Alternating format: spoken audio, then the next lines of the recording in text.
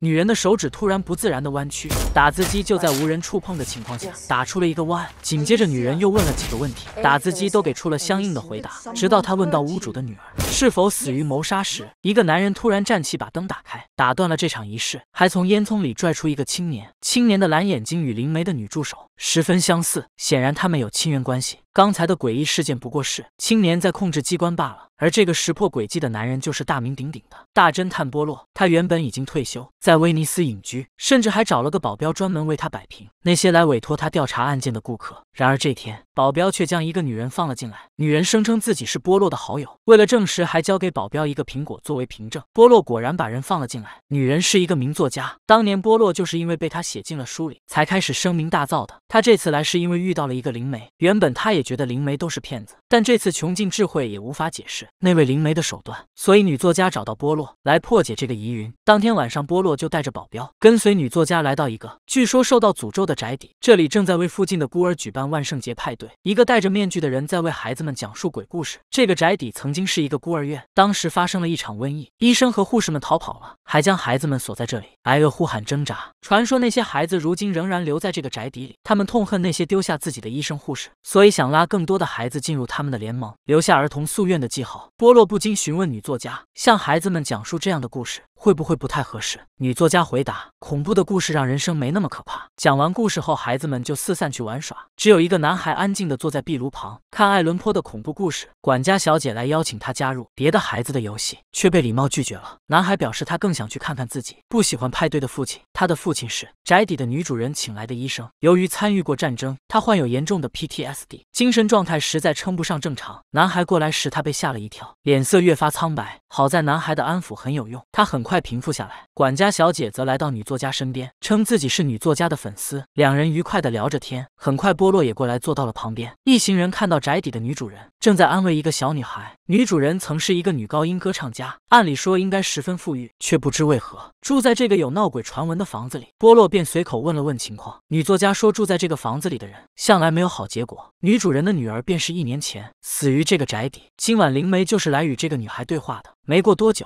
就见身披黑袍、头戴面具的灵媒划船过来，她的身后还跟着一个漂亮的女助手。一进来，灵媒就说今天会非常令人伤心，这个宅子里全都是声音，还准确指出女儿的房间在三楼。女主人一听非常吃惊，看来这个灵媒真的有几分本事，也就同意了灵媒在女儿房间举办仪式的想法。波洛和女作家正在楼上等着见灵媒，一见面，灵媒就讥讽波洛不去探案，却来这里质疑他的名声。波洛说自己是受邀过来了解他的占卜手法，绝不会相信他这种欺骗。脆弱者的投机分子波洛相信这个世界上根本没有上帝。如果这个世界有上帝，就该有正义。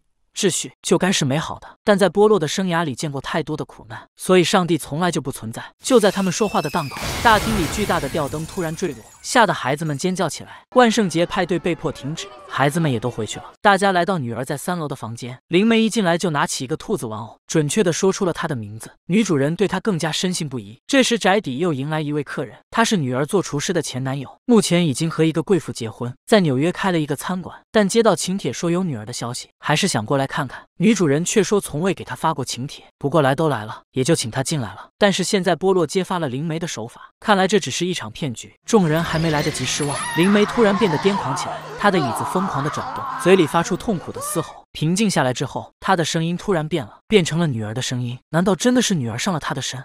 他诉说着女儿是遭遇谋杀，屋外狂风大作，打字机也再次启动，一个 M 出现，murder 谋杀结束之后，波洛来到灵媒这里，他仍然不信灵媒是真的，拥有通灵能力。灵媒却说起了自己的往事，他曾是一个战地护士，如果可以，他也不想听到这些声音，但是没有办法，所以他只能通过为他们发声的方式来停止痛苦。临走时，灵媒还玩笑似的给波洛披上自己的黑袍，戴上自己的面具。波洛也没有拒绝，穿着这身就出来观察宅邸。在大厅看到孩子们玩叼苹果游戏，剩下的装置，波洛一时兴起，也凑上前去玩起叼苹果。就在这时，一个穿着黑衣的人突然冲过来，将波洛死死按进水里。波洛逐渐窒息脱力，直到保镖赶到才将他救下，而凶手早已消失不见。波洛一清醒过来，马上就想到自己穿的是灵媒的衣服，凶手的目标可能并不是自己。然而还是晚了，只听女作家一声尖叫，众人纷纷来到现场，就见灵媒已经被艺术品雕像贯穿了胸膛。保镖迅速找到电话报警，女主人则为波洛端来一杯蜂蜜水。灵媒的两位助手窃窃私语，言语中他们仿佛本来要依靠灵媒去一个地方，现在灵媒不在了，他们只好自己上路。因为暴风雨，警方无法及时赶到。女管家不喜欢在这里过夜，马上就表示要走。波洛却飞快锁了大门。案件告破之前，谁也不能离开这里。波洛安排了一下事情之后，就开始调查。首先，他询问了女作家的不在场证明，确定为真后，就邀请她作为自己的助手。紧接着来到女主人这里，邀请她上天台聊天。这里是一片荒废的花园，她曾经会和女儿在这里采蜜。波洛问到她是如何和灵媒有联系的，女主人回答是灵媒主动发的信息。他叫出了女儿曾经对女主人的昵称，而后又谈到了女儿的前男友。曾经二人已经要订婚了，女主人将花园里的花全部摘下做贺礼。谁知前男友只认钱，知道女主人并没有他想象中富有之后，就和女儿分手。自那之后，女儿就精神状态急速下降。波洛又来到管家这里，管家曾经是一个修女，十分厌恶灵媒、巫女之类的人。灵媒自杀时，他正和女主人一起在音乐房里。当时他看过表，对时间十分确定。波洛又问他，既然不喜欢这种活动，也不喜欢在这里过夜，为什么要参加这个降临会？女管家说，她只想对一个人说出这些话，那个人不是波洛。紧接着，波洛来到灵媒尸体这里，医生正在验尸，但他似乎并不专业。没有注意到灵媒手腕处的伤痕，也没有预估出正确的死亡时间。说到这里，他的情绪再次失控。幸好儿子及时赶到安抚，医生平静下来，说起自己因为 PTSD，其实已经不再适合工作，但是女主人收留了他。和医生的对话结束后，波洛独自来到洗手间，水龙头莫名打不开，波洛不得不俯身看一下，再次抬头，却在镜子里看见自己背后站着一个浑身湿透的女人。波洛大吃一惊，难道这世上真的有鬼吗？回头看时，却什么也没有，水龙头也终于流出了水，只是水格外的烫。波洛赶紧关上了水龙头，出门就看见医生的儿子正在等他。儿子说，午夜时分他和父亲正在厨房等女主人，所以有不在场证明。又提醒波洛水龙头没关，可是刚刚明明关上了呀。心下诧异，波洛也只能暂时按下不表，继续调查灵媒的两位助理。然而这两位虽然偷过灵媒的钱，却不承认杀人，他们是战争的受害者，只想逃到纽约开始新生活。这之后，波洛突然听到了奇怪的童谣，其他人都没有听到。波洛循声来到女儿的房间，居然看见一个小女孩。他问女孩有没有看见女儿被杀，女孩点点头。波洛正想再问，就被女作家叫住。再回头，女孩已经不见了。女作家还说从没看见什么女孩。波洛来到楼下，因为暴雨的冲刷，房子底部有奇怪的声音。波洛因此判断出这里有地下室，掀开一幅奇怪的画，果然发现一个密道。众人来到地下，这里有大量的尸骸和破旧玩偶，看来传说是真的。看到这一切，医生情绪再次失控，甚至和前男友打了起来。回来后，女主人便将隔音的音乐房留给医生休息。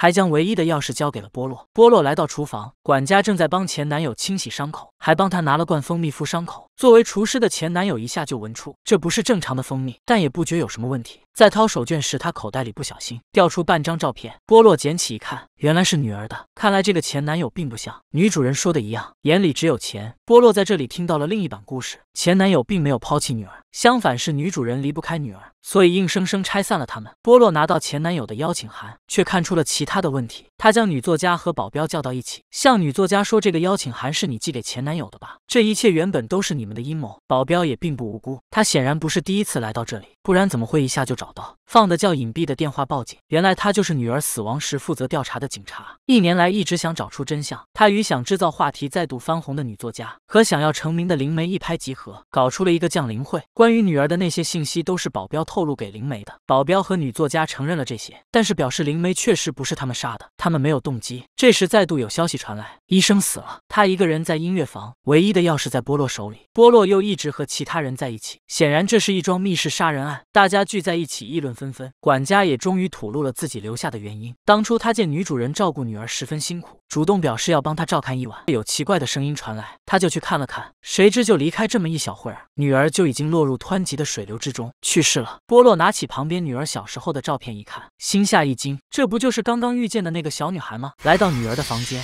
镜子和杯子突然无故破碎。波洛俯身收拾，却看到了另一半的前男友的照片。很明显，这两位一直是相爱的。波洛终于想清楚了种种谜团，他来到楼下，将大家聚集起来，宣布多起案件的凶手就是女主人。众人都很吃惊，女主人也连连辩解，但波洛并不听她胡扯，讲述起了这一切的经过。女主人无法接受女儿有爱人，还想离开自己，于是用自己所种的花的蜂蜜将她控制住。这种花叫做黑海杜鹃，蜂蜜有让人虚弱、发烧、产生幻觉的功能，食用过量就会致死。波洛今天频频见鬼，也是因为女主人在他的茶里放了这种蜂蜜。女儿去世那天，管家因为不知内情放多了蜂蜜。当女主人赶到时，女儿已经死亡。于是女主人为了掩饰自己的所作所为，将女儿伪装成被儿童夙愿所害的样子。又丢进河里。随后，他收到了恐吓信，以此事件要挟他给出大笔钱财。他害怕极了，分析出两个可能给他寄了恐吓信的人，即灵媒和医生。所以，他和管家约在音乐房见面，那里能够隔音，管家听不到钟响，他就可以利用调闹钟的办法伪造不在场证明，再去杀灵媒。而医生的死亡也不需要进入房内，只要用内线电话打给医生，用儿子威胁他，就可以让他乖乖自杀。女主人听完自觉变无可变，跑到阳台大喊自己绝不能失去女儿。